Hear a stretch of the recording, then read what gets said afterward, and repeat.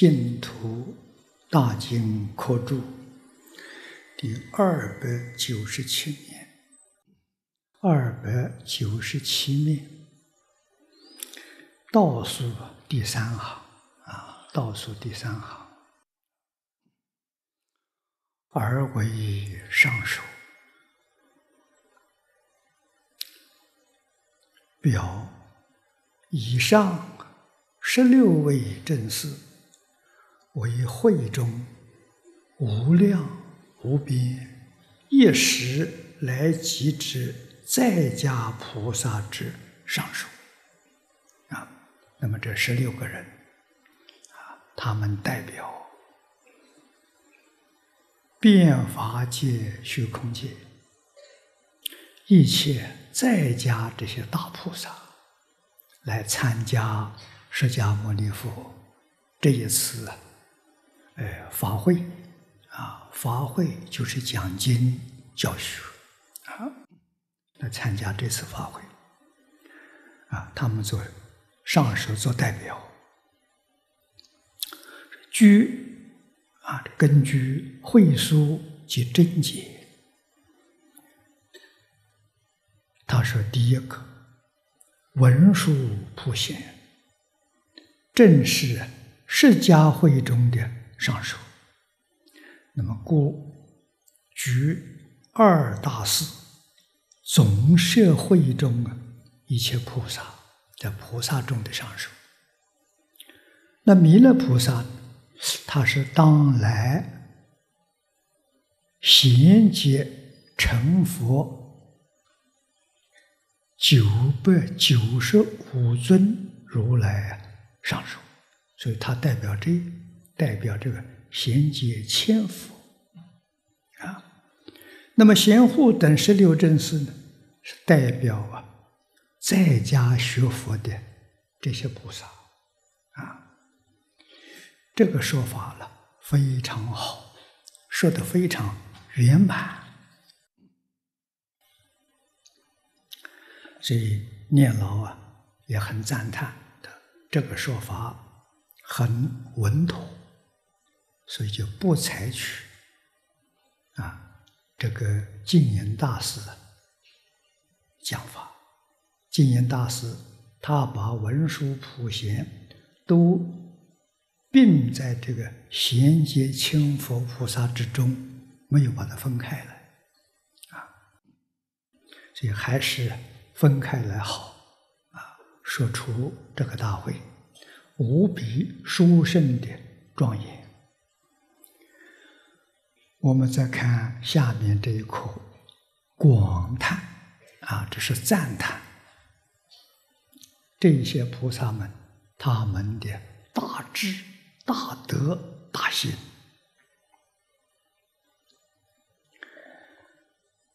经文：贤公尊修。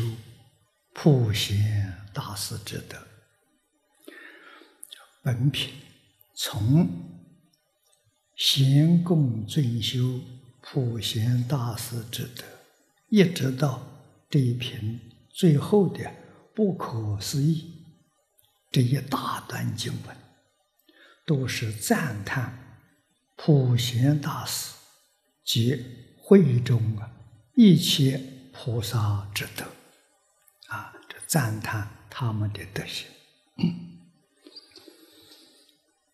大师就是菩萨，啊，也是古以大道心众生，啊，心意玄奘大师以后的翻译叫心意，玄奘大师之前呢。我们称它做古以，古时候翻译的，啊，古时候翻这个菩萨了，是大道心众生。玄奘大师把它翻译觉有情，就是觉悟的有情众生。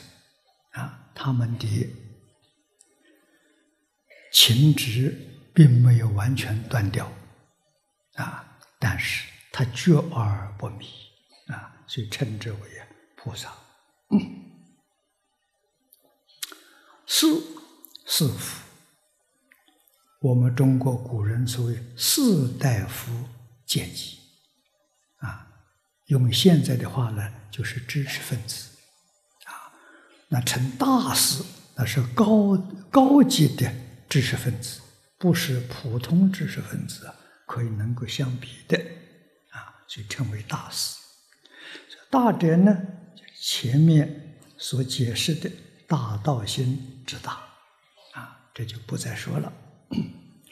本经会中，以普贤菩萨为一切菩萨之上首啊，所以品题是得尊普贤啊。在中国佛教，是以四大菩萨了为代表，啊，就四大名山啊。第一个是九华山的地藏菩萨，啊，它代表佛法的扎根教育，啊，你看地这个。凡是居住在地球上所有的众生，都离不开大地。啊，这地藏、藏、宝藏，土地能够出生五谷杂粮，啊，养我们这些有情众生。啊，那么大地里面有无量的珍宝，啊，我们开采出来啊，能够得其用。啊，所以用地来比喻，地比喻什么呢？比喻我们的心地。这个要知道。啊，大地有许多宝藏，我们心地里面有无量的智慧，无量的德能，无量的相好，这是我们自心本具的宝藏。同样一个道理，要把它开发出来。啊，现在科学技术进步，啊，开采的这个能能力啊，比过去大多了。啊，少数的人工就大量的开采，啊，这是近代科学技术。那我们的心地宝藏用什么来开采呢？地藏菩萨教给我们两样东西：孝亲尊师，就能够开采我们心地宝藏啊，无量的智慧，无量的德能，无量的相好啊。那么极乐世界呢，是。心地宝藏可以说是圆满开发出来的状况啊！极乐世界那么美好，心地宝藏全开出来了啊！那我们今天这个世界灾难这么多，什么原因呢？我们心地宝藏啊，啊如如不动，通通没有开采出来。啊，不是没有啊，跟极乐世界没有两样啊。他们开发出来，我们没开发而已。啊，所以佛在这里教导我们，希望我们也能够开发，跟极乐世界一样。啊，那地藏菩萨代表，《地藏经》里面教我们什么？啊，教我们孝养父母。奉师师长，我们的生命得自于父母，我们的智慧也得自于老师。老师对我们的恩德跟父母没有两样。在中国古礼里面完全显示出来。啊，譬如最平常的，我们所说的称呼啊，称名，现在乱了，现在叫乱世，社会大乱了，没有礼了。啊，在过去，男子二十岁行冠礼，啊，就是戴帽子，啊，表示他成年了，他不是小孩了，啊，那你要对他尊重，不能称他的名，啊，名，父母可以称呼，老师可以称呼，你在国家。服务，你做到宰相了，皇帝见你都不称名，称你的字，所以有名有字，啊，字是什么时候谁给你的呢？你二十岁行冠礼的时候，你的同辈，啊，兄弟、表兄弟，啊，同学、朋友，大家送你一个字。以后呢，就称字不称名，所以中国人有名有字啊。那最恭敬的呢，还有号啊，字还有号叫别号啊，那就更恭敬了。最恭敬的，连号都不称，称你出生的地方啊。你比如清朝末年李鸿章啊，大家称他李和飞。这是最恭敬的，叫合肥出了这样一个伟大的人物，啊，所以用地名来称，啊，佛门也不例外，啊，你看智者大师也不称他智者，啊，称他做天台大师，啊，他住天台山，说天台大师就是智者大师，啊，不称，慈恩大师是窥基，啊，他一生住在大慈恩寺。啊，长安的慈恩寺，所以用寺庙来称他，啊，不称他名，也不称他字，啊，所以这是对一个成年人的尊重，啊，现在不行了，不但称你名，还带姓，啊，这个不像话了，带姓连名带姓，那是骂人了，你是现在怎么乱掉了？啊，在从前的时候，皇帝要称你的名，你就有罪了，你就判刑了。啊，他都不能连姓说，那姓说，那对人有种侮辱性的，说皇上都不会做这个事情。啊，所以你从这一点看，中国人把老师跟父母看成平等的。啊，老师的。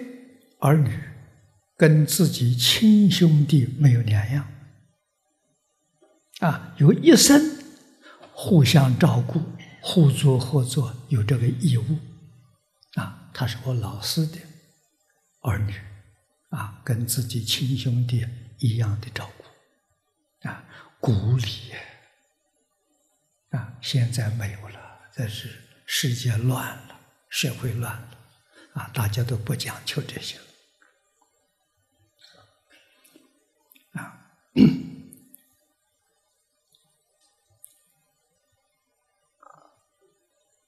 那么菩萨啊，四大菩萨这第一个，它代表中国的大乘佛教。第二位呢，观世音菩萨啊，地藏菩萨在升等，在升一级，这课程嘛，地藏课程修完了，第二个课程是什么呢？第二个课程是慈悲啊，要把我们的孝亲尊师。推广，推广到所有一切众生，《弟子规》里头说：“凡是人皆学爱。”啊，佛比《弟子规》范围还广，啊，不但人要爱，花草树木要爱，山河大地要爱。他那个爱是推广到变法界、虚空界啊，爱心呢，爱心变法界啊，这样推广，这就是大慈大悲啊，是无缘大慈，同体大悲。缘是条件，没有条件的啊，这个爱心呢，没有条件，没有分别，没有执着。平等的爱，真诚的爱，这叫爱的教育啊！啊，同体大悲，看所有一切众生跟自己是一体，不是一家了。一家还有分别，一体啊！这是大乘佛法啊。那么再提升，文殊菩萨做代表，代表智慧。这个爱心一定要以智慧为基础，不能用感情，感情就变质了，就坏了。啊，所以这爱是理智的爱，不是感情。啊，这个就对了。啊，大乘佛法最主要的就这三桩事情：孝亲尊师、慈悲智慧。啊，普贤菩萨代表落实。如果这个东西不能落实在生活当中，你没有做到，那不等于零吗？啊，普贤代表世界。啊，将孝亲、尊师、慈悲、智慧落实到生活，落实到工作，落实到处事待人接物。这叫普贤，所以普贤代表大圆满，啊，解行相应，啊，解行圆满。这四大菩萨代表大乘佛法，现在没人讲了，也没人知道了，都把菩萨当作神明去膜拜，错了，这变成迷信了。佛法原本是教育，现在变成迷信，变成宗教。啊，这是我们学佛，无论在家出家的弟子，对不起释迦牟尼佛，对不起祖师大德，啊，我们没有认真去学习，把佛教变成这个样子，让社会大众对他产生很大的误会，就错了。啊菩萨的名号啊，我们称称之为德号啊。菩萨的德号代表修德啊。我们听到之后要认真去学习啊。佛的名号呢，代表性德，是自信里头本有的啊。虽然本有，如果不修。性德透不出来，一定要修学啊！所以佛法实在讲，它是最圆满的教育啊，最真实的教育啊！我们学佛，首先要把它搞清楚、搞明白啊，究竟圆满的教育。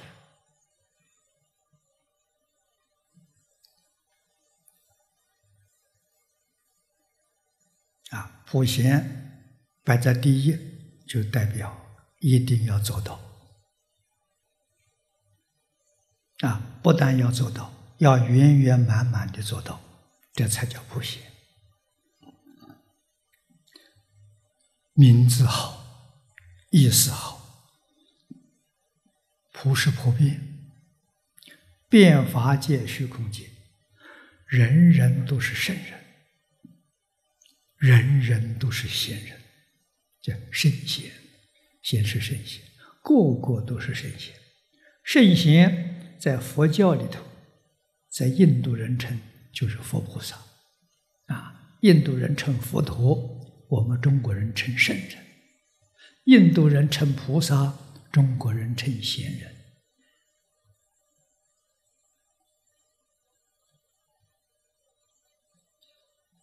啊那为什么当年翻译不把它翻成圣人跟贤人呢？啊还要翻佛陀凡菩萨呢？圣贤的标准不一样，印度的标准比我们中国高，我们中国的圣贤跟他比还差很多。那他的标准是什么？标准是断烦恼。我们中国圣贤没有讲断烦恼，啊，他们要断烦恼，啊，见思烦恼断掉，再成阿罗汉；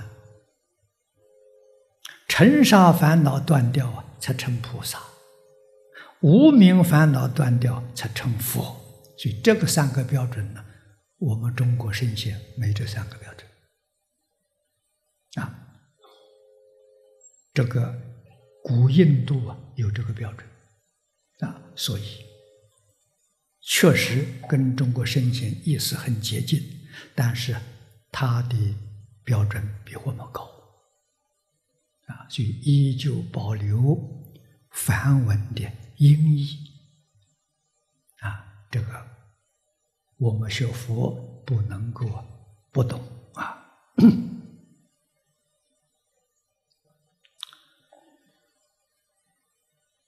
那么，其余像文殊啊，文殊代表智慧；弥勒啊，弥勒是 释迦牟尼佛以后这衔接一千尊佛出世，释迦牟尼佛是第四尊，弥勒是第五啊。将来弥勒菩萨会到这个世间来实现成佛啊，第五尊，这这是。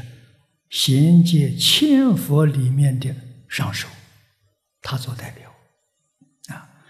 弥勒是梵语，翻成中国是慈悲的意思，慈悲到基础啊。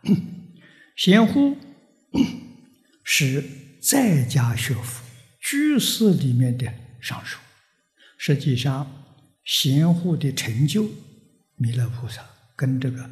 文殊弥勒地位是平等的，啊，但是出家呢，可以以佛的身份教化众生，啊，在家不能用佛的身份，啊，最高就等觉菩萨身份，啊，如果他要现佛身出生呢，他一定现出家相，啊，差别就在此地，除这个地方。没有任何差别，啊，所以在家学佛，他的成就跟出家没有两样。释迦牟尼佛当年在世，实际上是两尊佛同时住世，啊，释迦代表出家佛，维摩居士代表在家佛，啊，我们在经典里面看到。维摩居士讲经，释迦牟尼佛派他的弟子舍利弗、目犍连这些人去听经。啊，居士讲经，出家出家人听经，这些出家人见到居士，也要顶礼三拜，也要右绕三匝，礼戒跟。见佛完全相同，啊，这代表什么？代表佛法师道第一，他是老师的地位，他就是最第一大。啊，我们虽然是出家，老比丘看到老师还是要顶礼，啊，要行最见礼，啊，所以不可以说我是出家人，你是在家居士，不可以，你在家是学生。啊，他在出家是学生，他在家他是老师。啊，现在这些道理都没人懂了，也没人讲了。啊，民国初年，支那内学院还讲究。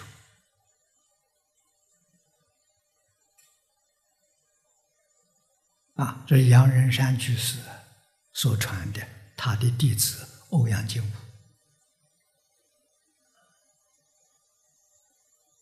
啊，欧阳居士身作将军、出出家的这些比丘听经的，都是遵照规矩，一定是顶礼三拜，有热三丈。啊，这些礼节存在，佛法常住世间。礼节没有了，佛法就没有了。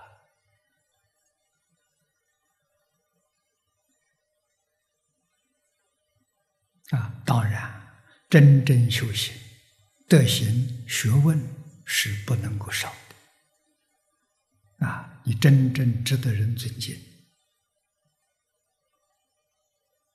啊，所以出家人不能够啊妄自尊大，不可以。啊，在家修学好的、有正果的，啊，必须要尊敬。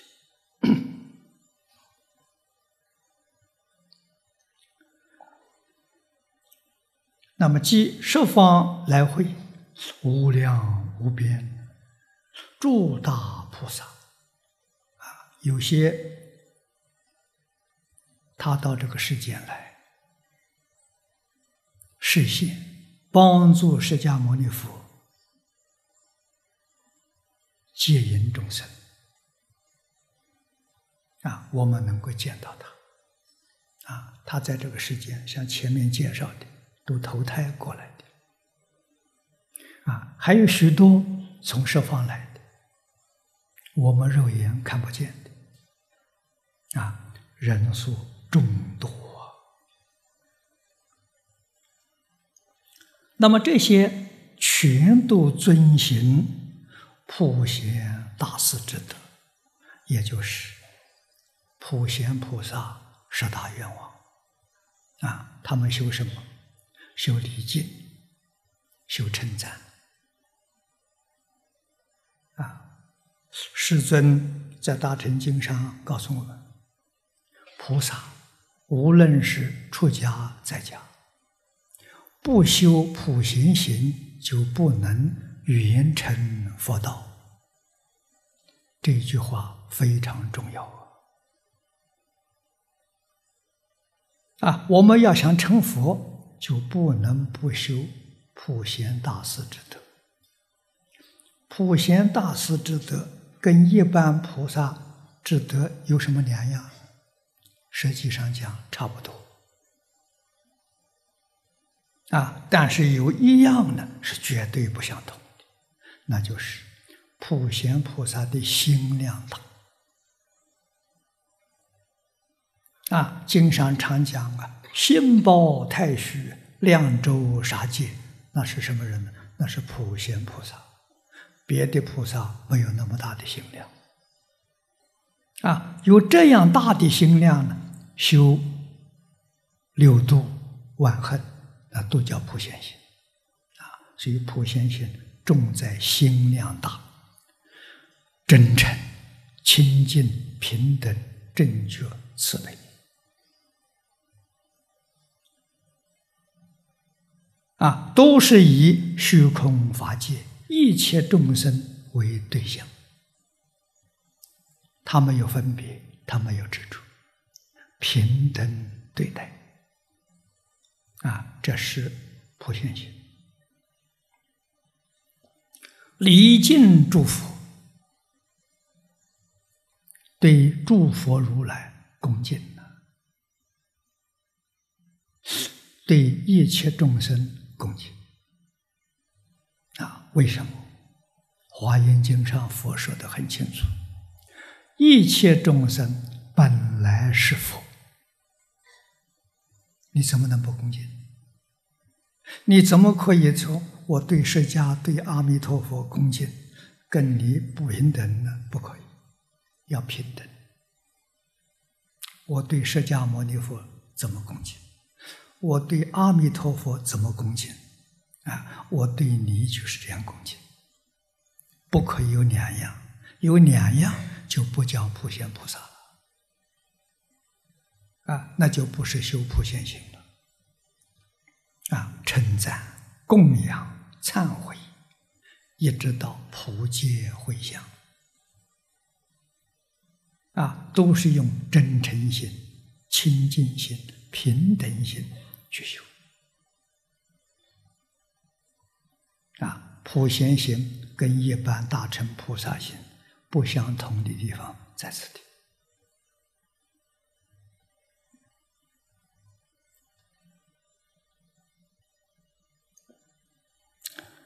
普贤大师乃华严长子啊，他代表大方广佛华严，其智德啊，他最高的德行就是十大愿望，导归极乐啊，所以他是娑婆世界。净宗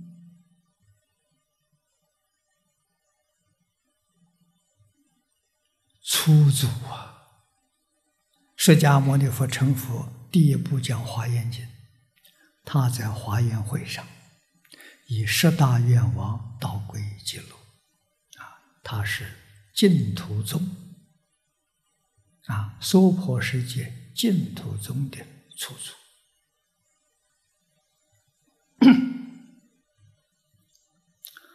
华严经普贤行愿品，为大师十种广大行愿啊，这里都说出来了。一者礼敬诸佛啊，礼。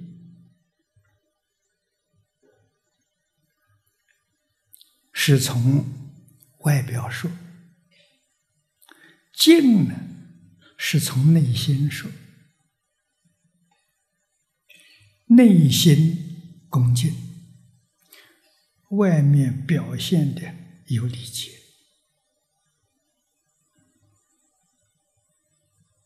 啊，在这个地方。我们要懂得礼，还是要遵守世间的一切法。佛法在世间，不离世间觉。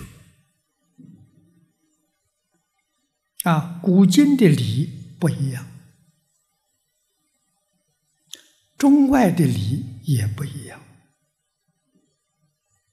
啊，恭敬的心完全相同，表现在外面一定要随顺的。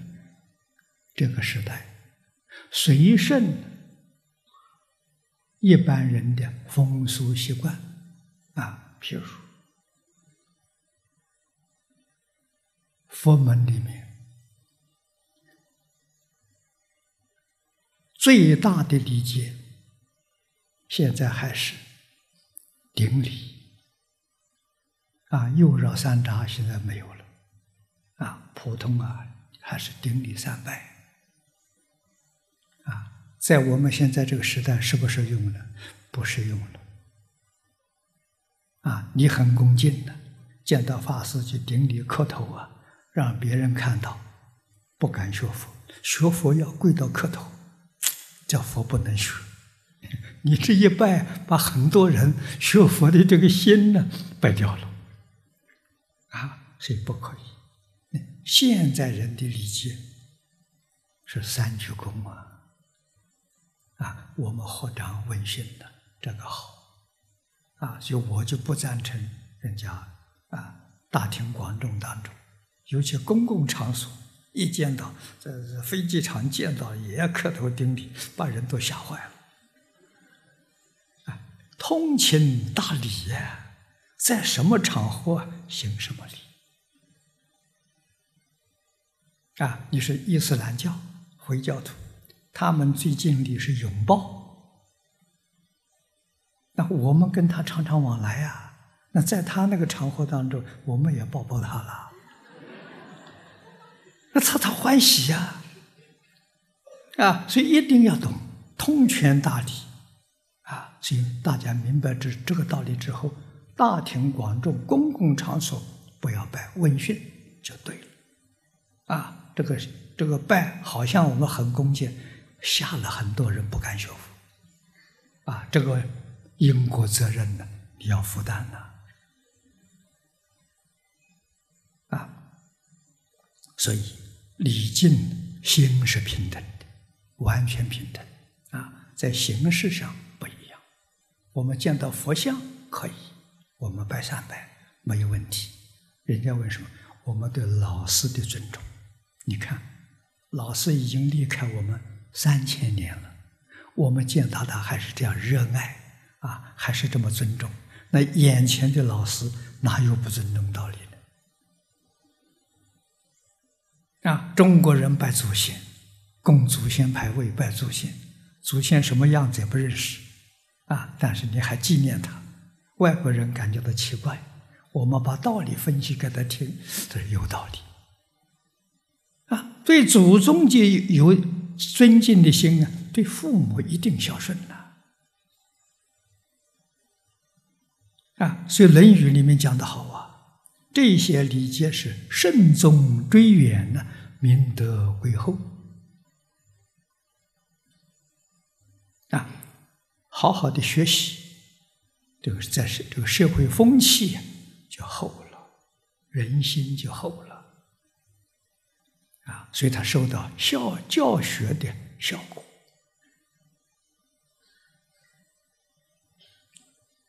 啊，这是我们不能够不知道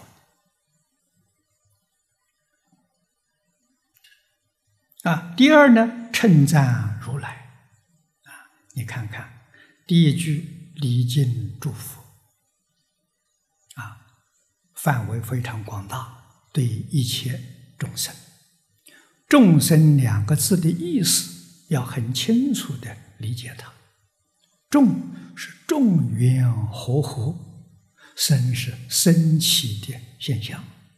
你看这个意思多广啊！我们身体四大五蕴，众缘和合而生起这个现象，这个生叫众生，众缘和合而生。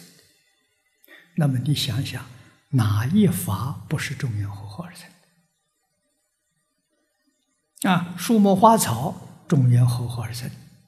山河大地也是众缘和合而生的，然后你才晓得变法界、虚空界所有的现象啊。现在科学家把它分为三大类：第一个物质现象，第二个精神现象，第三个自然现象。三种现象都不外乎众缘和合而生啊。那这个众生的范围就太大太大了。啊，所有这些众生，我们都要礼敬，都要赞叹。啊，他是善的，我们要赞叹他；不善的呢，不善的就不能说，啊，不能说，而且呢，不要放在心上。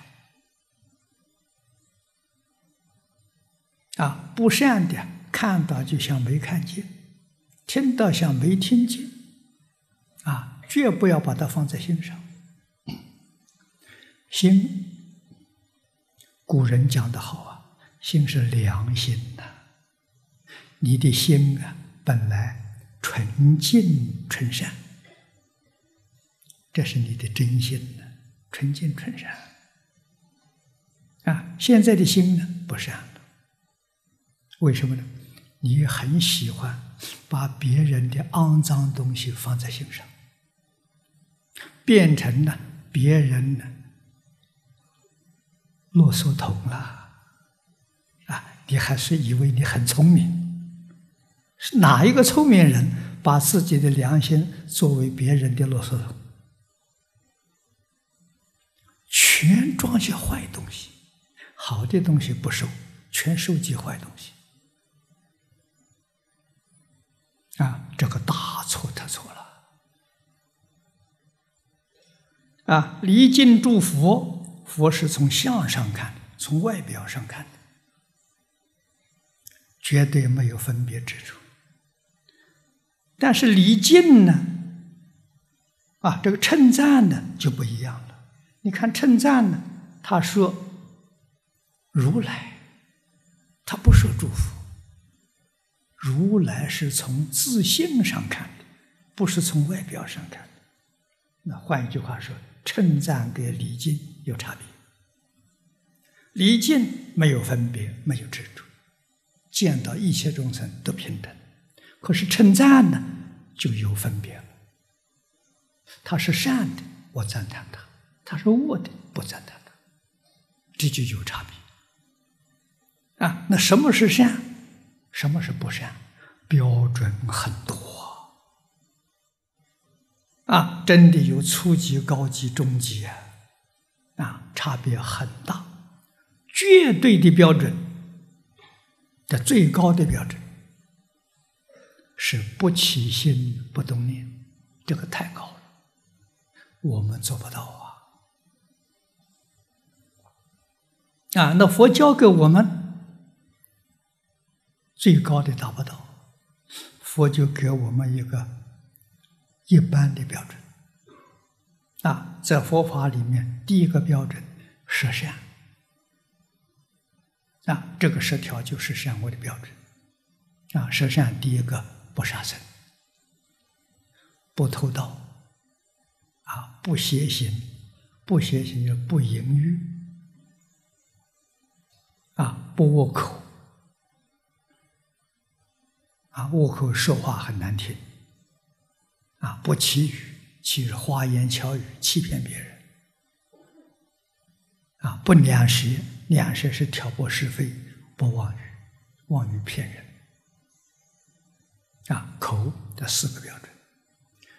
意呢，起心动念，不贪，不嗔，不痴，这十条。与这个十条相应，就是善；与这个十条不相应，那就是恶。啊，所以我们称赞如来。要用这个十条标准啊，随着我们修学，然后慢慢再提升，这是最低的标准啊，无界是善的啊。中国老祖宗教的我们的，跟这个非常接近。中国老祖宗教我们有四科，就是四个科目。第一个是五伦，啊，五伦是讲人与人的关系，啊，一定要懂得。现在关系乱了，关系乱了，社会就乱。啊，五伦第一个，父子有亲，啊，这个亲是亲爱呀，这个亲是天性。不是学来的，啊，是属于自然的，没人教啊，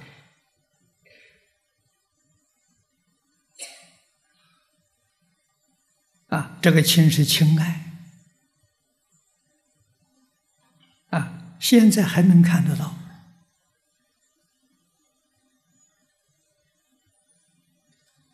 啊，我是前几年。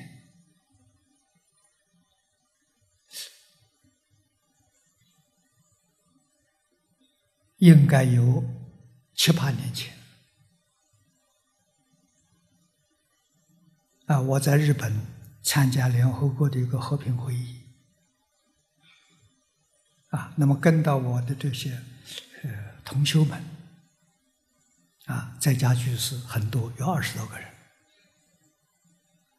啊，他们跟在我身边。啊，我们在外面散步。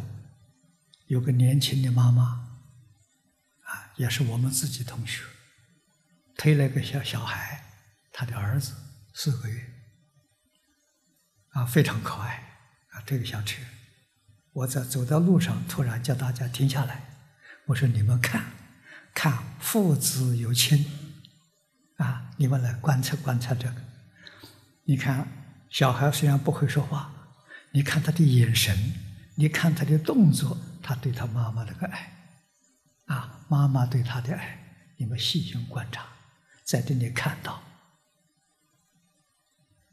自信的流露啊！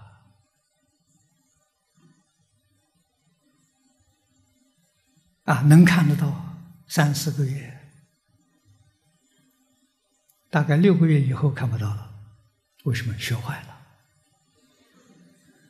那他天天看电视啊，电视天天教他，那就就不一样了。哎，所以三四个月很天真，他还没有受什么严重污染，哎，你能够看得出来，啊，父子有情。所以我们老祖宗啊。真有智慧呀！这是外国人赞叹的，不是普通人的。汤恩比博士赞叹，啊，这中国古时候中国人最懂得教育，啊，他们有教育的智慧，有教育的方法，有教育的经验，啊，这全世界其他的国家族群的都比不上。啊，中国人教育从什么时候开始？从怀孕。叫胎教啊，小孩一出生，眼睛张开了，他就会看，他就会听，他已经在学习了。你不能瞧不起他，你不能小看他，他很认真在学习。啊，他从哪里学呢？就是父母的大人在他周边的言谈举止，通通影响他。啊，所以《弟子规》。不是叫小朋友念的，也不是叫小朋友背的。啊，《弟子规》是怎么回事？情是父母做出来给小孩看。从前的家大家庭嘛，啊，兄弟都不分家的嘛，啊，女孩子嫁出来了，啊，男孩子兄弟不分家的。是大家庭，啊，五代同堂是很正常的事情，很普遍的事情，啊，所以这个婴儿在摇篮里面就看他的父母怎样对他的父母，就对他的祖父怎么样对待他，他就学会了，啊，所以《弟子规》是自己尽孝啊，做给婴儿看。啊，看多久呢？三年。这一千天叫扎根教育。啊，三年天天看，天天听，天天学习，根深蒂固啊。三年的成就，古人有个谚语说：“三岁看八十，叫八十岁都不会改变。”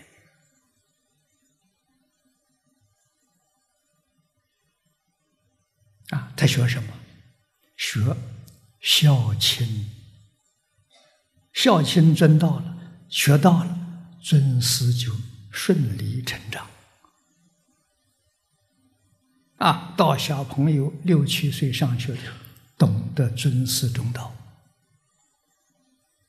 他会成就啊！啊，特别是上学的头一天，啊。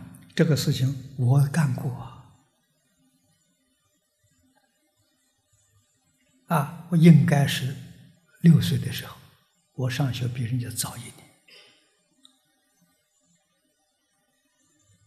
啊。私塾，私塾是家庭子弟学校啊。那个时候，我们的家。真的已经是家破人都散掉了啊！所以我们依靠的是姑妈啊，那是个大家族。我的姑父兄弟十个人不分家，是大家庭啊。我们依靠大家，在他家的祠堂里面有家学。啊，我们去上学，啊，父亲带着我，带着送给老师的礼物，叫书修礼物。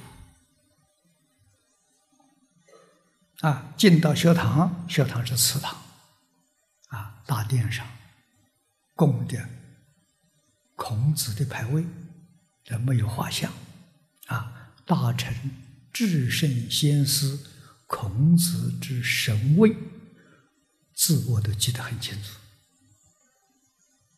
啊，我在没有上学的时候，我父亲教我认字，大概认识有三百多个字。啊，所以那上面字我都认识。啊，老师带着同学，同学是站在两边。啊，老师站在孔子牌位旁边，先向孔子牌位行三跪九叩首的礼，是清朝时候的礼节。啊，父亲在前面，我在后面，三跪九叩首。拜完之后，请老师上座，啊，老师坐在孔子牌位的下面，啊，我父亲在前，我在后，向老师行三跪九叩首的礼。我们看多了，为什么每一个新同学进来都要行这个礼呀？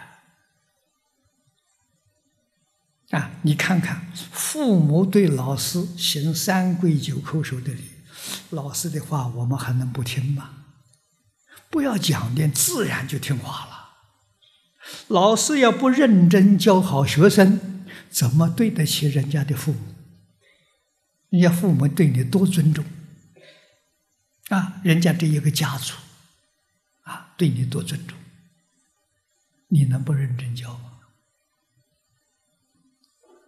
啊，都是真心流露啊！啊，现在没有了，这师道没有了。师道是建立在孝道的基础上。佛是师道，佛是老师。啊，所以佛教传到中国来。啊，为什么？当年释迦牟尼佛弟子四面八方。去推动佛陀教育，啊，有些地方一两百年没有了，三四百年没有了，六七百年没有了，只有在中国两千多年，它还不衰，还能存在。什么原因？中国人重视孝道，它是师道，啊，师道建立在孝道的基础上，孝道没有了，师道也就没有了。啊，所以现在没有了。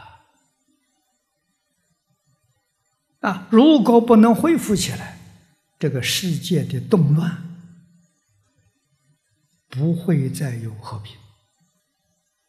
啊，真的，我有一些国家领导人见面时都问我，啊，发誓，你看这个世界还能恢复和平吗？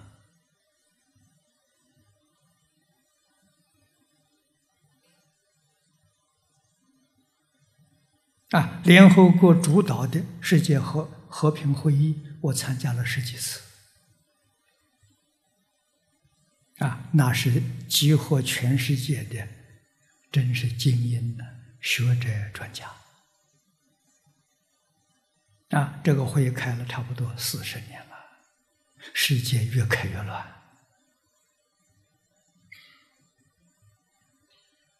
啊，我现在年岁大了，我不参加了。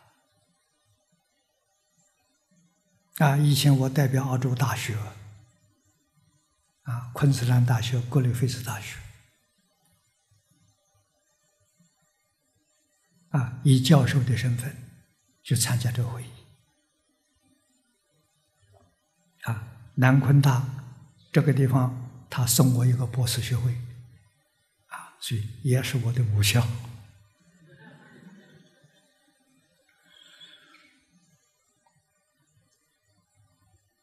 啊，信心对于现在这个事，信心没有了，怎么能安定和平？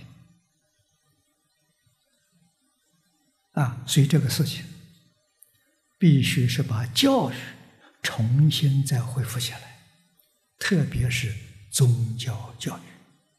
为什么呢？今天社会上的教育有学办事的教育。啊，科学技术教育，做人的教育没有了，不教你做人呐，啊，所以伦理的教育没有了，道德的教育没有了，因果的教育没有了，人都学坏了，社会怎么会不动乱？这大问题呀！那么今天要救这个世界，我常常想着。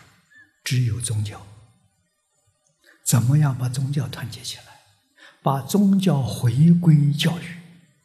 啊，我跟宗教接触的多，我接触都劝他们要讲经，要教学。啊，释迦牟尼佛当年在世讲经一辈子，四十九年一天没空过。啊！我出家遵守老师的教诲，老师劝我出家，劝我学释迦牟尼佛，我就真干了。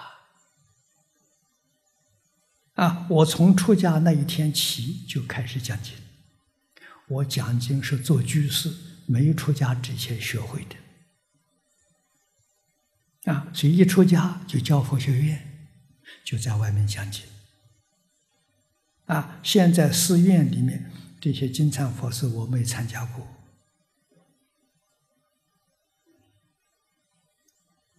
啊，一生讲经教学，啊，是相当辛苦，啊，受很多委屈，但是我不会怪别人，为什么？这是历史社会所造成的，不是他们的过错。啊，我们把讲经教学疏忽了两百年。啊，日本的佛教把这个疏忽了四百年，你怎么可以怪人？啊，我们今天要发心，从头做起，把佛教教育带起来。啊，它是教育，经典是教科书啊，这个内容非常丰富啊。值得我们学习，啊，学了决定有好处，起作用，啊，所以什么是善，什么是恶，要有智慧去辨别，啊，善心、善行我们赞叹，啊，不善的心行我们不赞叹，不放在心上，啊，别人的善言善行放在心上。啊，不善的，通通不放在心上，养自己纯净纯善的心，这就对了。啊，我们真正的跟释迦牟尼佛学到东西了。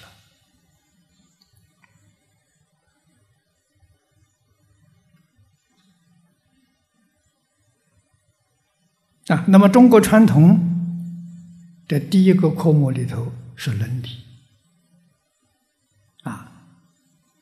伦理的教育，这中国重视教育，为什么？希望父子这种亲爱能够在一生当中保持不变，这是中国传统教育里头第一个目标。啊，第二个目标是希望这种爱扩大，啊，从你。跟父母之爱，父母跟子女之爱，推行到爱你的兄弟，爱你的家族，啊，爱你的邻居，啊，爱你的乡党，啊，爱社会，爱国家，到最后是凡是人皆去爱，推广。所以，中国传统教育是爱的教育，啊。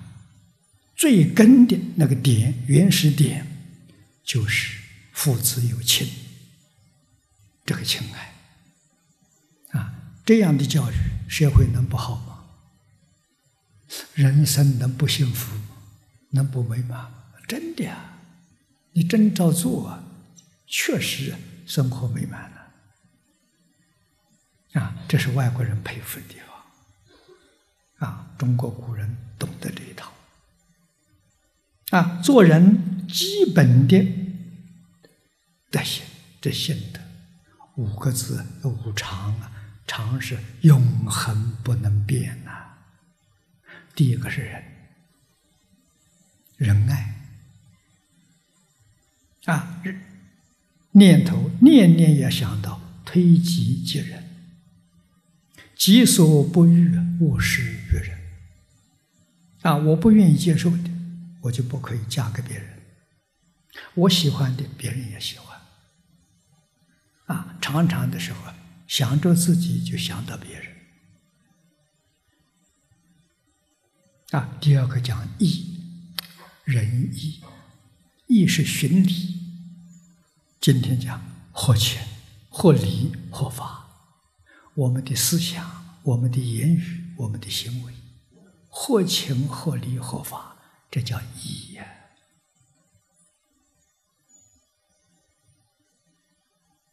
啊，第三个是礼，礼是讲礼节。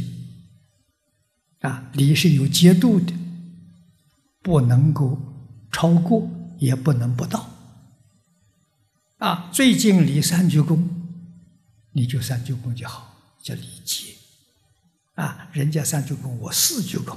我特别恭敬一点，那是八戒，超过了，那那那人家三鞠躬，我二鞠躬就可以了，啊，二鞠躬是傲慢，啊，你还不到，啊，所以一定啊要符合他的节这个节节度，啊，所以他通通有节度的，啊，人与人之间的是礼尚往来呀。啊第四个是智慧，我们讲理智，不能用感情，用感情就会出问题，啊，用理智不会出问题，啊，最后一个是信用，头一个要自信，啊，信用里头中国人讲信，相信自己什么？相信自己本来是神仙，学佛呢，相信自己本来是佛菩萨。你才能成佛菩萨。不相信自己是佛菩萨，永远不会成佛菩萨。啊，不相信自己的心是本善，你永远做不到善人。啊，所以相信自己本心本善，相信自己本来是佛。我努力学习，我恢复到我自己的本位。啊，中国教育是讲这些。不讲升官发财！啊，升官发财是小事情啊！你你的德行好了，有智慧，有德行啊，你生活自然可以过去。啊，只要吃饱穿暖，啊，有小小的房子可以遮蔽风雨，活得多自在，多幸福啊！啊，与人无争，与世无求。啊，与人无争，与世无求。今天世界上的这些拉杂问题，你都看得很清楚。为什么呢？当局者迷，旁观者清嘛。我旁观，我不在里头嘛。啊，你就会看得很清楚，看得很清楚，你就有智慧帮助他解决问题。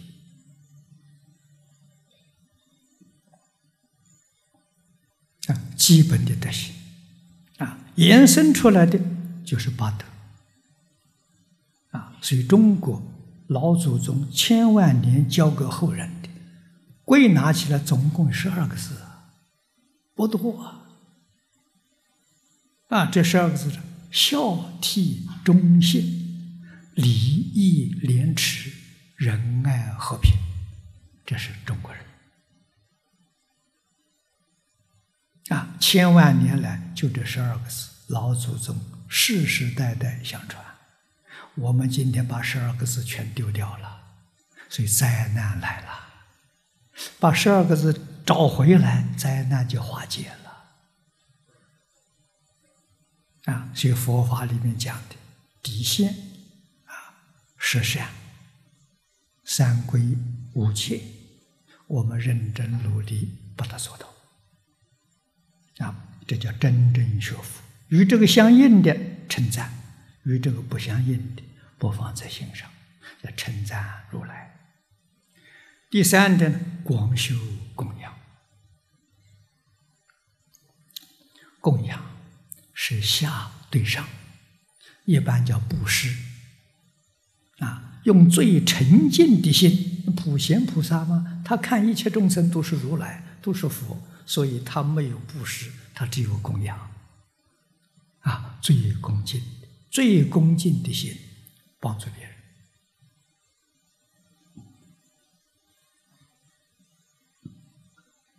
如果说我们自己是生活很清苦，没有东西能供养别人，我们的礼节可不可以供养？我们的笑容可不可以供养？太方便了，不一定要花钱的。啊，最大的供养不是欢喜。啊，不是恭敬啊，这个人跟你接触都会欢喜啊。如果有能力，一定要帮助别人啊，而且什么不求回报啊，在佛法里与一些众生广结法缘。啊，你要帮助人，人家要能够接受，啊，那就得有缘。没有缘，你帮助他不接受你的。啊，所以结缘在佛法里头就比什么都重要，与一切众生结缘。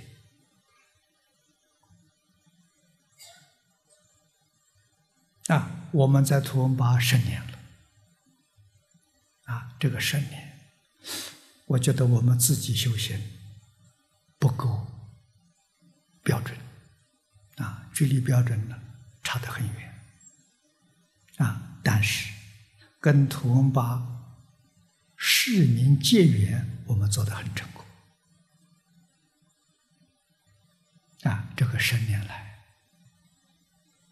啊，我们关心他，我们爱护他们。啊，我们帮助他们，方方面面，全心全力照顾他们。啊，我们自己在物质生活上尽量节省。啊，多余的这些财力啊，帮助这个社会。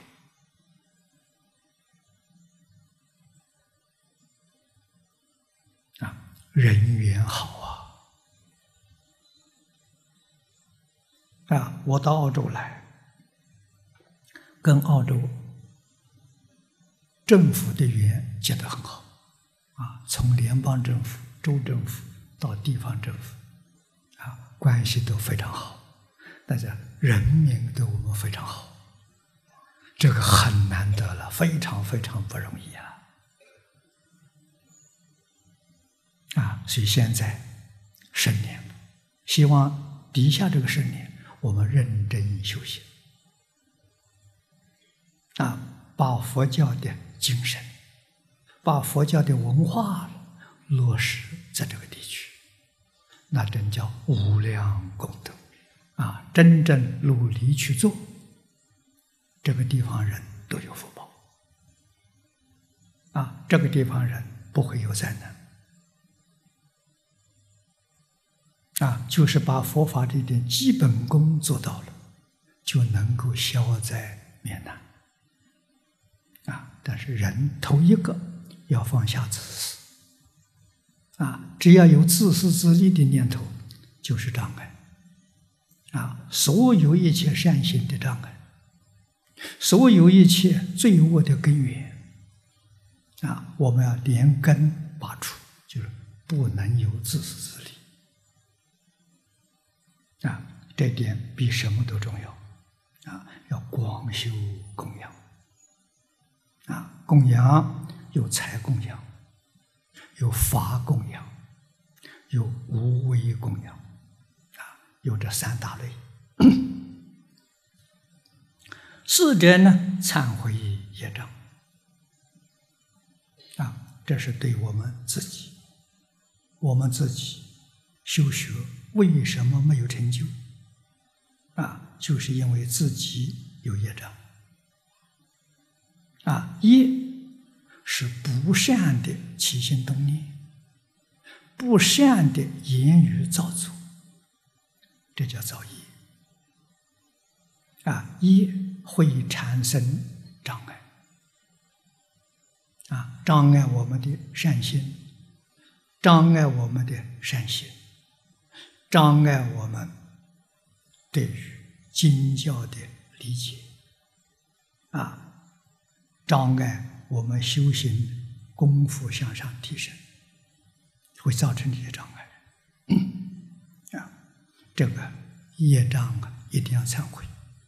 所以佛门里头有早课、晚课啊。我们净宗成立有二三十年了啊，最早是在美国成立的。我们就提出修学的五个科目啊，这五个科目是敬业三福。这第一个，第二个是六合经，第三个是戒定慧三学，第四个是六波罗蜜，第五个是普贤菩萨，就十大愿望，这样五个科目啊，希望我们常常想着起心动念与这个科目有没有相违背。如果相违背的，就不能想，不能做。啊，如果是相应的，我们就应该做，应该去想。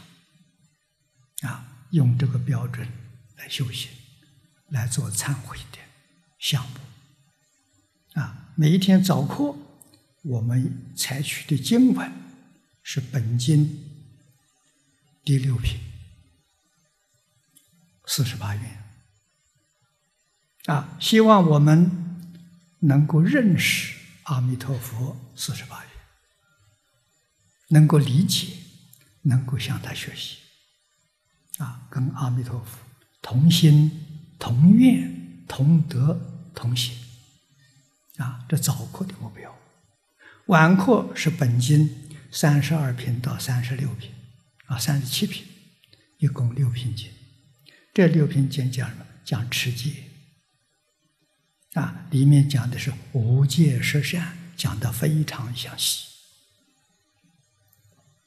啊，每天晚上反省无戒十善，我们有没有做到？啊，有哪些地方呢？违反了，应当要把它改掉。啊，后补再造啊，这叫真修行呐。啊，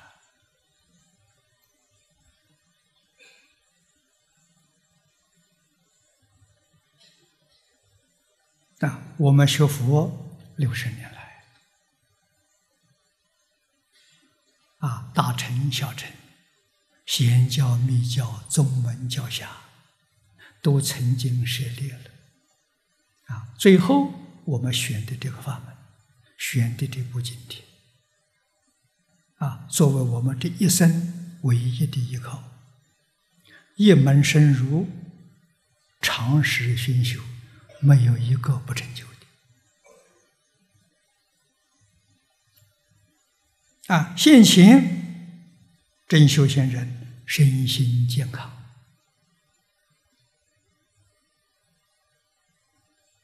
啊，这是自己的幸福啊！家庭美满，事业顺利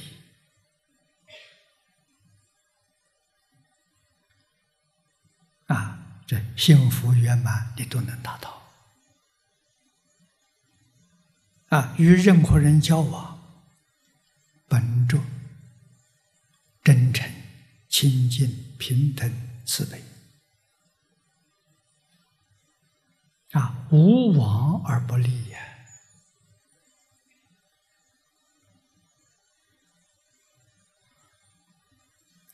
一门。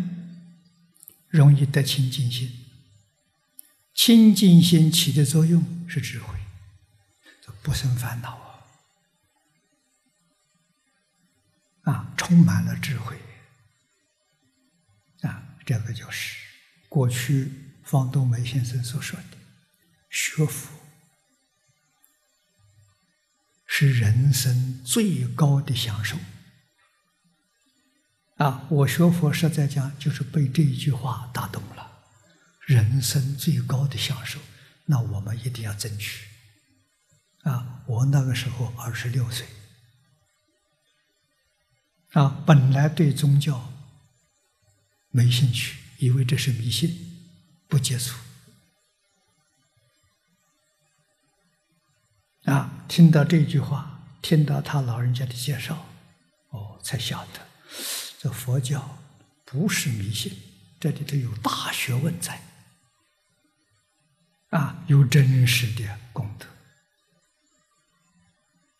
啊，那么看到老师，啊，老师的晚年，在学校开的课程全是佛经，啊，我们就相信了，他晚年大概二十多年，啊，在学校开了大乘佛学。叫大单元的，一个一个大单元要讲一两年，啊，大概是一个两三个学期大单元，啊，讲魏经佛学、隋唐佛学，啊，华严哲学，就讲这些东西，啊，我们才知道真的不是迷信，啊，在大学里头看过。所以业障要铲除啊。第五，随喜功德啊，铲除业障之后，一定要懂得随喜啊。随喜呢，就能够破除自己的身见、边界啊，见取见跟戒取见有这个功效。啊，也就是我们跟大众相处，要放下主观观念，要能够随顺大众。啊，大众有小错都可以随顺，重大的错误不能随顺。啊，要讲解清楚。啊，小毛病没有什么大碍事的，通通随顺，大家欢喜啊。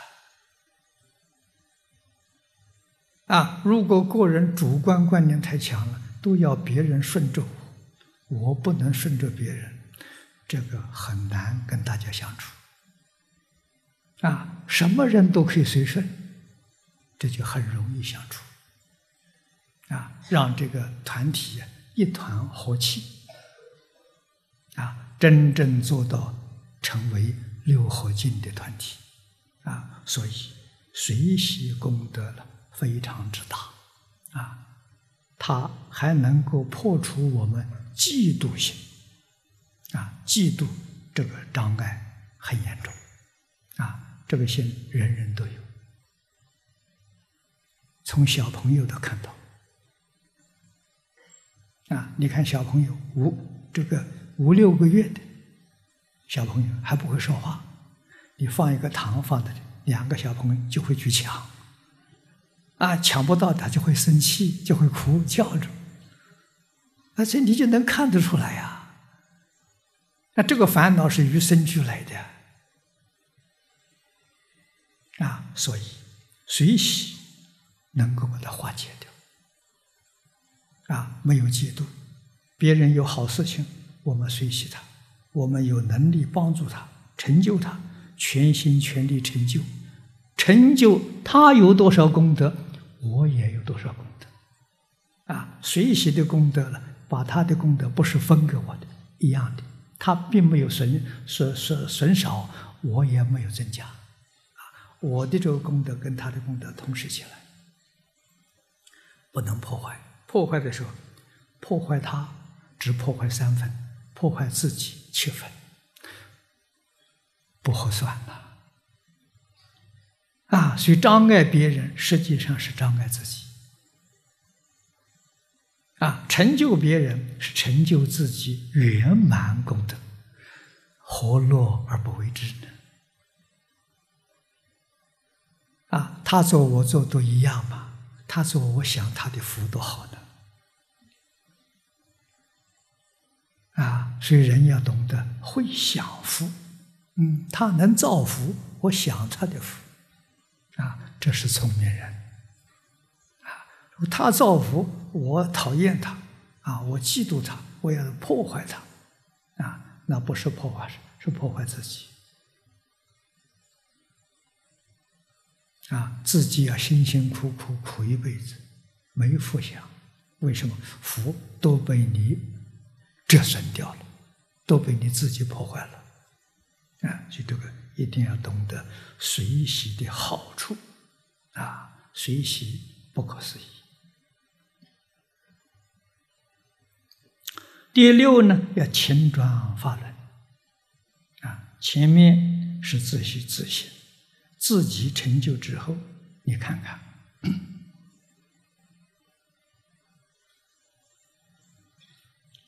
这个十条，前面的四条是基础，啊，基础第一个是从礼敬，啊，可见的这一条重要啊。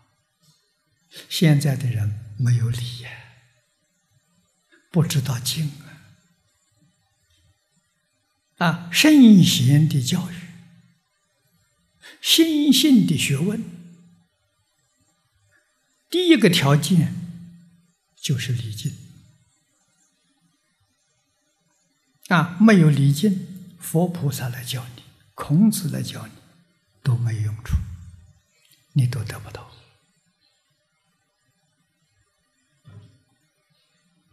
啊，那么由此可知，这个问题重要。啊，印光大师说的好：“一分沉静得一分利益，十分沉静你得十分利益，那百分沉静你就得百分利益。如果是万分沉静那你当下就开悟了，你就成佛了。”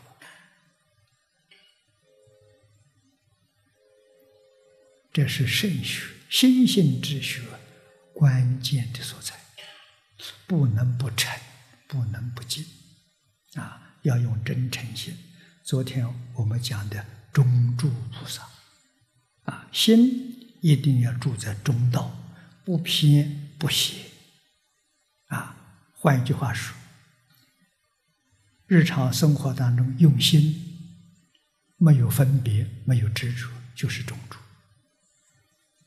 有分别偏了，有执着邪了，啊，不偏不邪就没有分别，没有执着，完全用智慧，啊，这个里头没有情史啊，啊，菩萨之所住处啊，啊，称赞。供养啊，这是修基本的福德。光修供养是修福啊，人都想发财啊，都想升官啊，都想有智慧，都想健康长寿。啊，佛能不能满我们的愿呢？要不满我们的愿，我们这个佛学了，到底得到什么呢？佛确实先满足你的欲望，这就没话说了。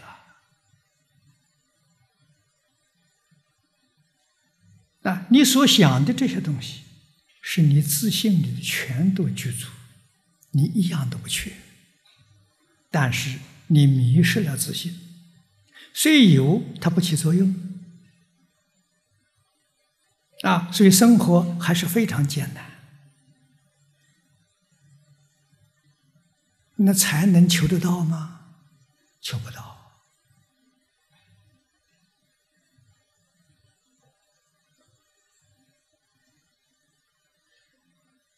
啊！如果财随便有方法能求到的，我相信孔子也向你学习，释迦牟尼佛也在向你学习了。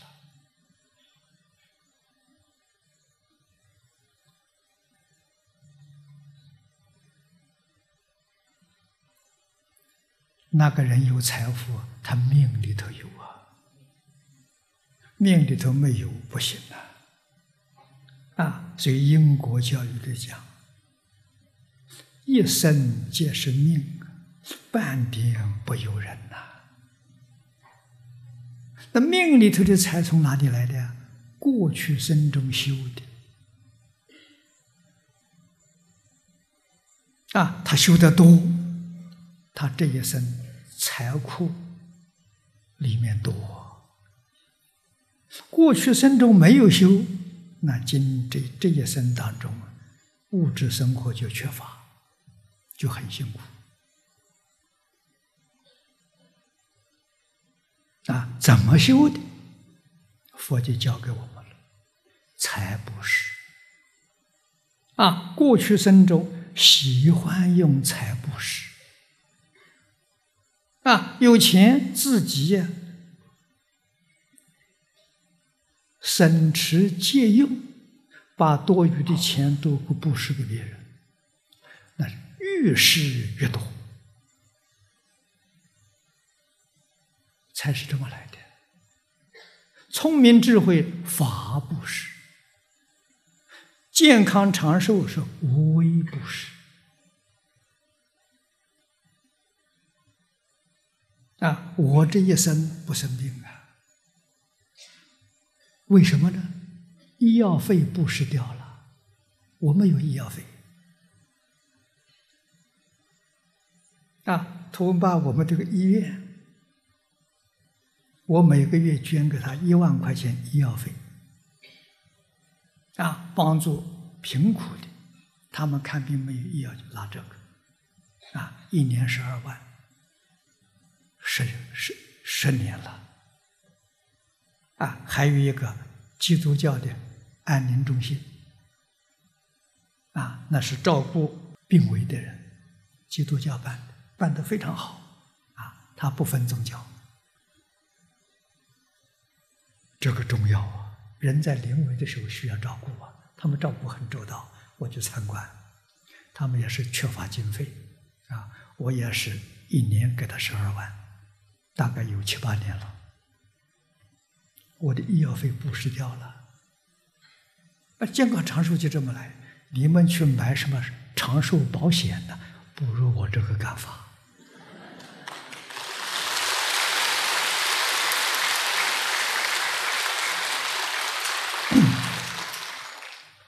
啊，老市长上一任的市长，啊，他非常照顾年轻人，这个城市。年轻人吸毒的很多，他搞一个戒毒中心，啊，也是缺少经费，问我要三十万，我送给他，啊，帮助青少年戒毒，因为他自己儿子也是犯了吸毒的，他说花了八年的时间把他转过来，很辛苦，所以他知道这个东西很严重，啊，对小孩他照顾很周到，那市长很好啊。啊，所以，我们尽量帮助社会。啊，钱真的是越来越多，啊，越多就越多就越多做事，啊，不要留着，留着就是罪业。这个世界多少人需要钱用？你怎么可以把钱钱放在银行里？不可以，要拿出来用掉。啊，我这一生修这五事，我是学印光大师。印光大师四众供养，他老人家只做一桩事情：印经。这个好啊！啊，印经是法布施啊，帮助人开智慧。啊，他将这个供养的钱建立个印刷厂，在苏州报告寺。叫弘化石，那是印光法师做的。啊，这个基金就是对老和尚的供养，全部投入这里头。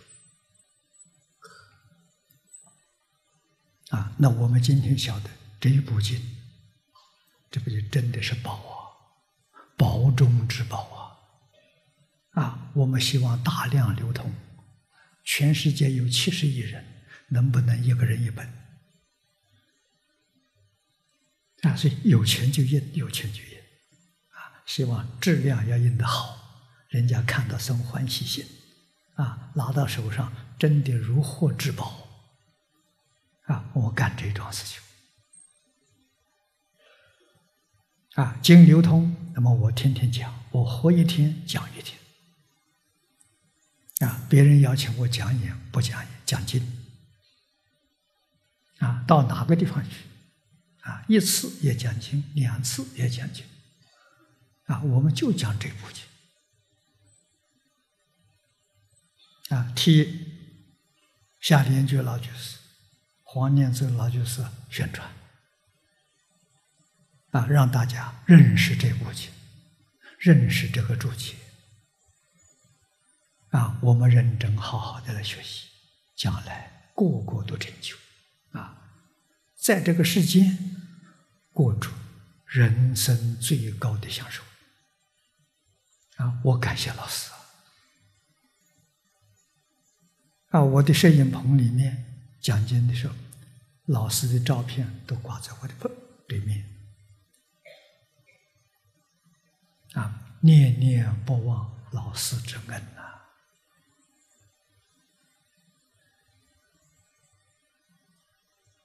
啊，所以不要积财，要积德。啊，德里头有财，财里头没有德。啊，积德，德里头有财。啊。有取之不尽、用之不竭的财啊，必须要懂得啊，寿命可以延长啊。我的寿命有很多老同学知道啊，我的寿命四十五岁，现在多活了四十年了。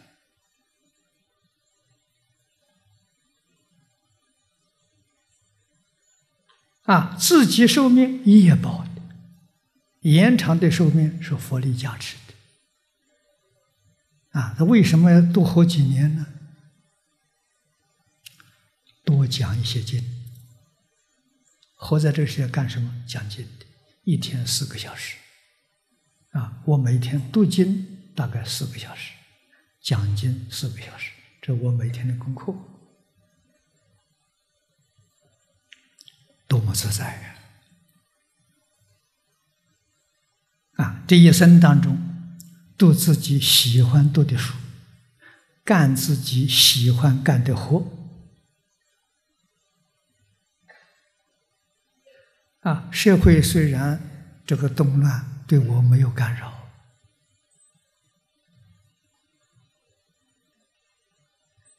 啊，这个就是人生最高的享受。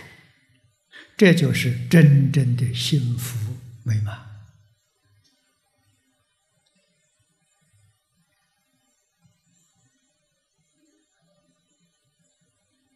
啊！我这一生也没有居住的地方，到处都是家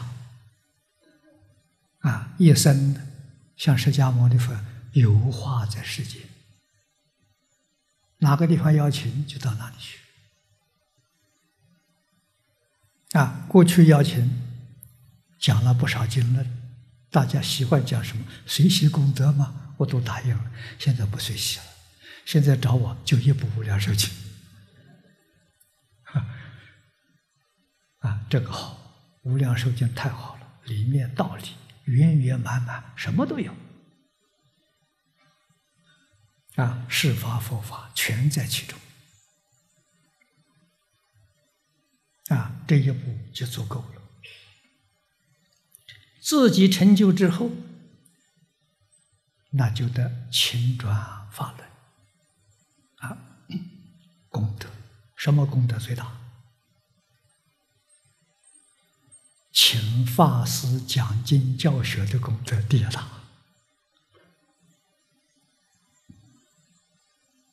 啊，在古时候，交通不方便，资讯不发达，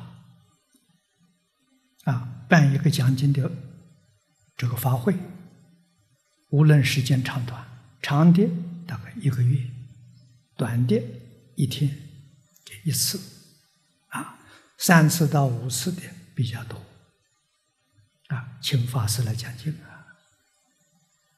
上午、下午的上课啊，一般是上午两个小时，下午两个小时，大众在一起学习，帮助大家觉悟，这个功德比什么都殊胜啊！那现在方便了，现在我们用微信、用网络，全世界都可以看到啊！虽然。卫星没有下载，有电脑都能收得到，这件电脑方便啊，电脑可以收看网络，也可以收看微信，啊，二十四小时不中断，这是过去做不到的，我们现在做到了，啊，所以我们可以。天天都在一起，啊，都在一起学习，啊，有问题念阿弥陀佛，别问，阿弥陀佛念多了，自然就通了，问题就解决了，妙不可言，啊，还有什么？多听经，多听经也能解决问题，啊，我是上个月有个同学从中国大陆来的。啊，在香港来看我，啊，听了一次经，啊，听完之后告诉我，他有好多问题，啊，要来问我的，结果一次经听了之后，就全解决了，啊，就多听经，多念佛，多做好事，好事布施，啊，学财布施的财富，啊，法布施的聪明智慧。无为布施的健康长寿，啊，用自己的财力可以做，用自己身体做义工，义工叫内财布施，功德比外财大很多倍，啊，尤其是真诚心、慈悲心来做义工，那功德不可思议，啊，那很难有人跟你相比的。啊，这个要知道。啊，那附带要告诉诸位：如果你到道场做义工，你做的不如法，啊，自己的烦恼习气很重，啊，不能恒顺众生，要别人恒顺你自己，你破坏这个里头的规矩，那造的业比什么都重。那他不是来修福，他是来造业的，啊，这个都必须要搞清楚、搞明白，啊，决定不造业，啊，决定要随喜，啊，啊，清真法轮。那么第七个呢，请佛出世，啊，请转法轮呢，不错，很难得了，但是有几个人。听一两次经就开悟了，那不可能的事情。啊，古时候有，现在没有了。为什么？古人的心清净，他社会安定，没有动乱，啊，所以他的智慧比我们就高。我们受外面环境的影响，烦恼习气很重。啊，这个一点，这不比不上古人啊。那我们就是想办法多听经，多念佛，啊，跟外面境界尽量少接触，啊，少接触。第一个，不要看电视，啊，不要看网络，啊，这些报纸、杂志都不要看，都绝缘。我离开五十年了，啊，所以心很清净，他不干扰我。那重大的问题呢？有一些同学很慈悲，这大型灾难问题，他揭露下来给我看看，我就看了一点点，啊，其他的全都不知道。所以问我每一天天下太平，天下都没事，啊，生活在清净的环境当中，啊，所以他们有权利啊去传播，我有权利不听。啊，我有权利不接受，啊，这样就可以保护自己，啊，这个比什么都重要，啊，所以信佛注释是勤善知识老师常住这个世界，啊，现在呢，好啊，现在有网络有微信，无论住在哪个地方，我们通通天天都可以在一起，啊，所以不一定呢要住在一个地方。啊，所以这个就我们的愿呢都能够满了，都能达到了。第八呢，长随有佛学，后面这个三条都属于回向。长随佛学是回向菩提，啊，佛是我们的老师，佛是我们的榜样，是我们的标准，我们一定以他为我们自己学习的最佳的典型。啊，我们要向他学习，这就决定没有错误啊。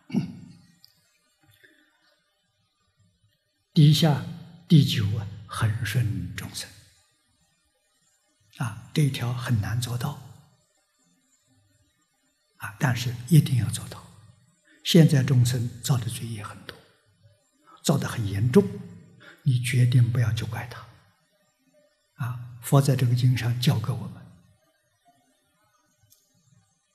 经上说的：“先人无知，不舍道德，无有愚者，殊无怪也。”啊，先人说，父母不知道，祖父母也不知道，曾祖父母也未必知道。你说我们断了好几代了，我们今天做错事情，没人教给我们，所以。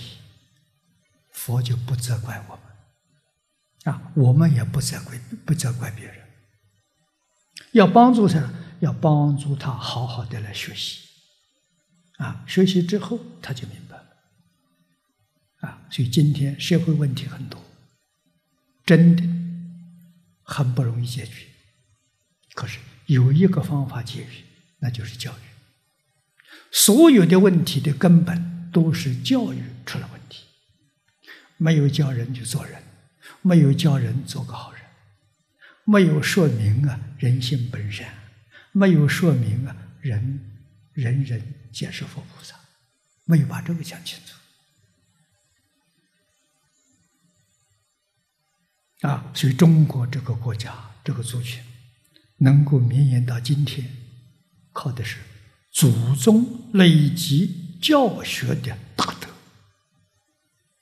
啊，中国这个国家，我肯定至少有一万多年。啊，老祖宗就重视精神生活的文明。啊，那个时候虽然文字没有发明，不能说没有文化。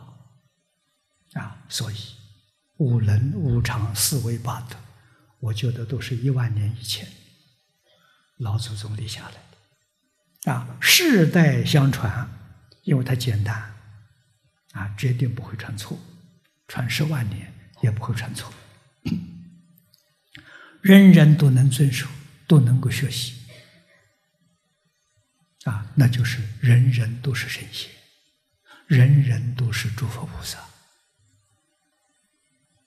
啊，这个不知不能不知道啊，我们不能不感激老祖宗啊。啊，玛雅的预言，这灾难的预言。二零一二年十二月二十一号，啊是不是世界末日？不一定。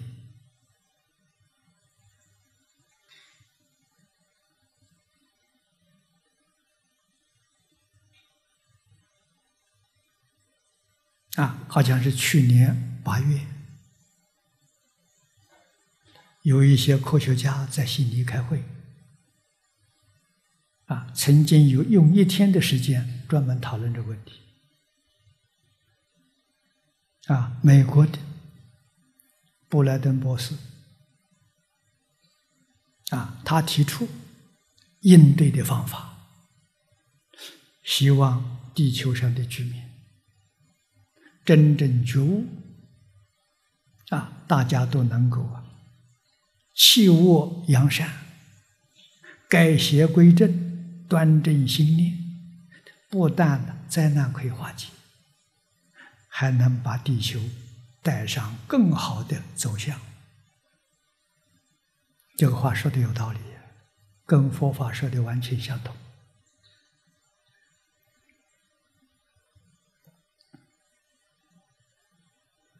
啊，他讲的这十二个字：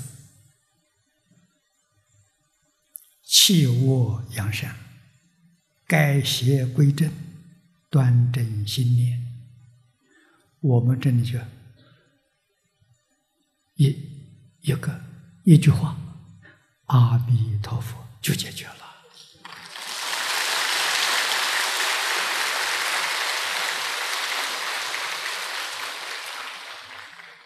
啊，起心动念全是阿弥陀佛。啊，开口说话别说别的，都是阿弥陀佛。人家问我们阿弥陀佛，跟我讲一大堆话，阿弥陀佛。就这一句话妙极了，哎，能度自己，能度众生，能帮助这个地区化解灾难，啊，这不可思议！你说阿弥陀佛多好，这部经上讲的很透彻。啊，我们第一遍讲完了，光碟都做出来，这都流通，啊，大家可以带回去听。这第一遍。这是第二遍，现在是第二遍。啊，我活一年就讲一遍，如果活十年的话，我就讲十遍。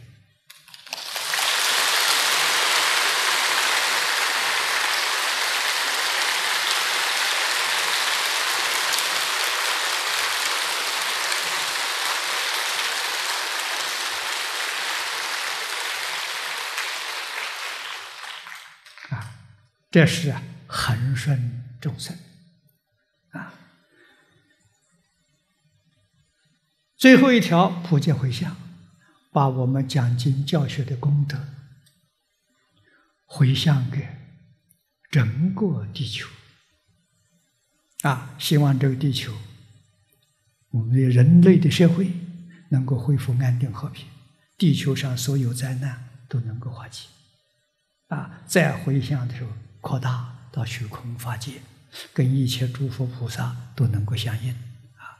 今天时间到了，我们就学习到此。